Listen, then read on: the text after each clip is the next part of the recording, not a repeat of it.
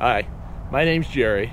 I'm a twin troller boat owner, a lifelong fisherman, and I'm in a lake that I come fairly regularly at times anyway, especially when it's really windy. Today it's supposed to be 17 mile an hour winds.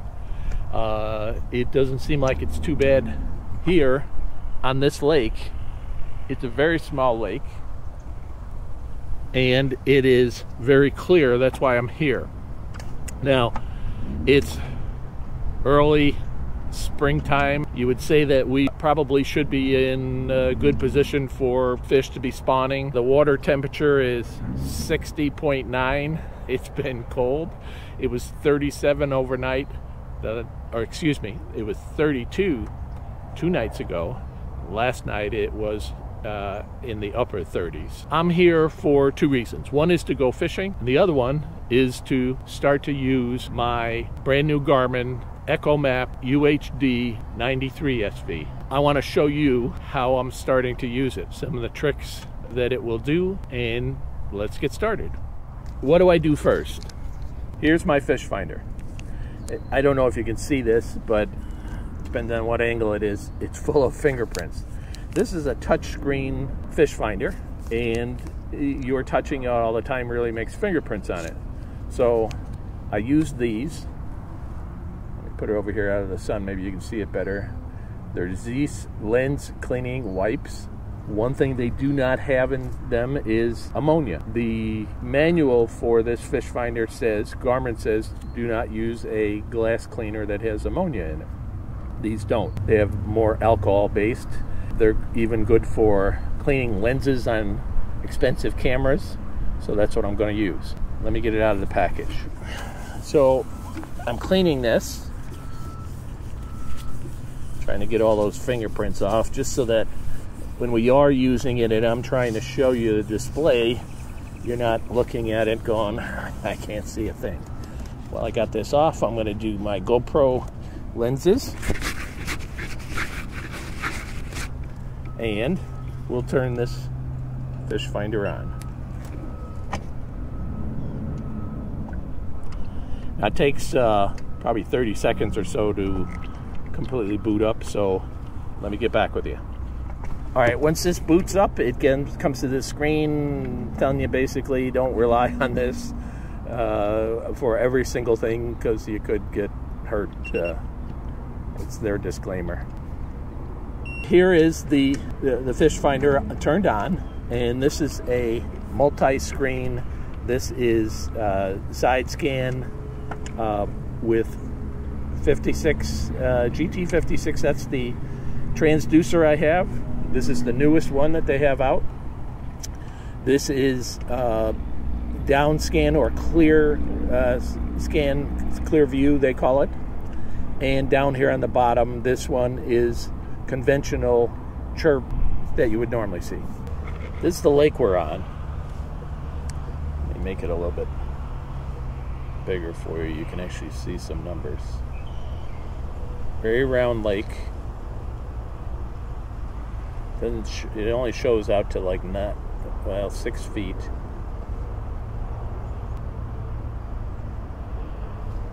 It only shows out to about six feet probably because nobody's ever tracked this lake. However, you can see here that the numbers are closer together. The lines are more detailed here. It's because I did this in the past. Quick contours. Start recording. Now I have to have a chip in here, which I do. I have a 32 meg chip, and it will continue to record wherever I travel. And when I when I push here to tell it to stop, it will stop doing that and I can't use that word. Every time I do, my GoPro thinks I'm telling it to stop doing that. Uh, and then I can't show it to you. But once I push that, I can then go to here and I can name it and I can delete it if I want, but let's go back.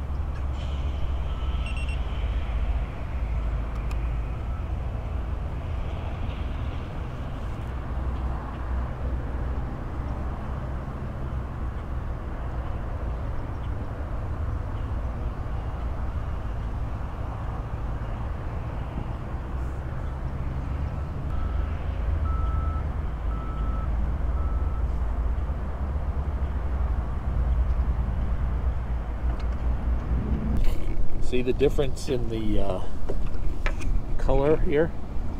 The green. That's where this has been creating its own map and it will eventually update the map that existed in here if I have it do that. And you can see the green box where the boat is. Watch when I move forward.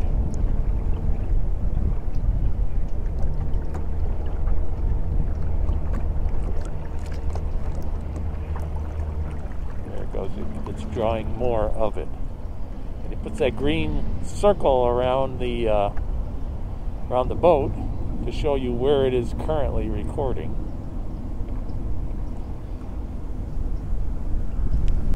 All right, I circled the entire lake uh, in saving the map that I created.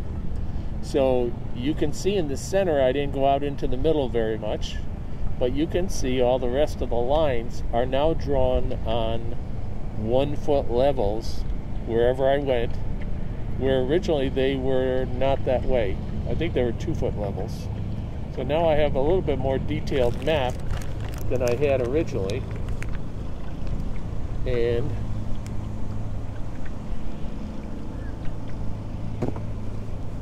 there it goes. And I also have shading on. So it creates color changes where this is like five and less and this is the next range. Uh, this is from like 10 to 14 ish, and you can change the colors of these things, but it lets you look at the lake and see where the different depths are based on coloring of that.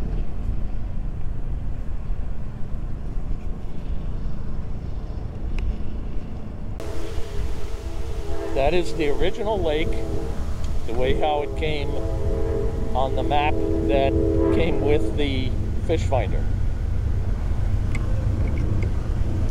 Menu.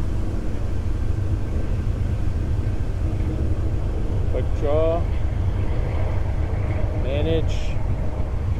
Lake confusion. Done. Back.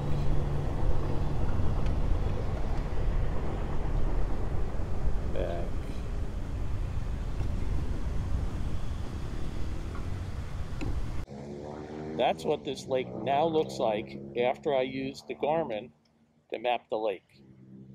And I've saved it on this chip under the name Lake Confusion. So anytime I want to, I can come back and put this back to the way how I see it now. As opposed to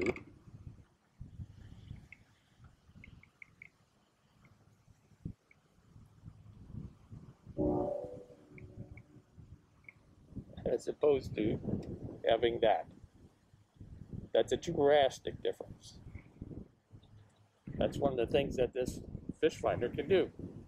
Now, I can't even release this information out to the public. And if somebody had done this already on this lake, I would have been able to pick up their map uh, soundings and put it on my fish finder, but nobody did. So I did.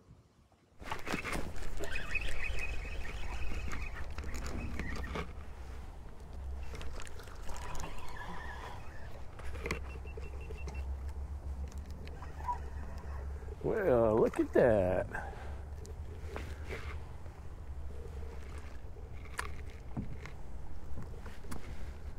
I really didn't think I'd catch anything today.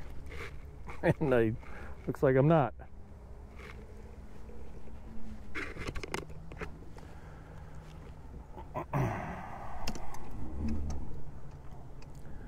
Well, let's see. What, six inches maybe?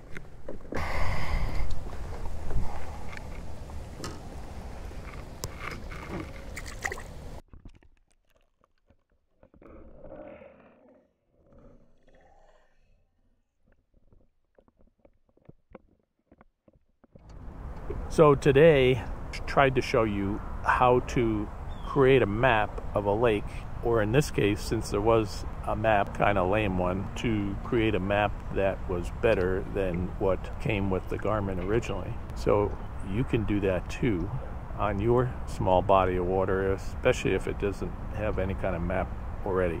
So today's lesson was create your own contour map for your favorite lake.